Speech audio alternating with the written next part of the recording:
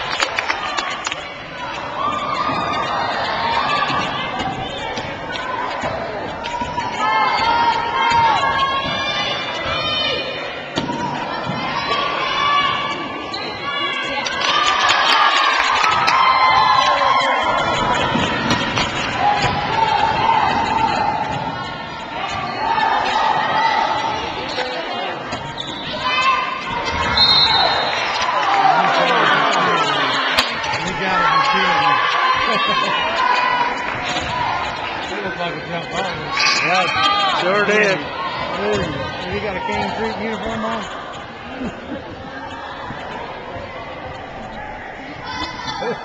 on.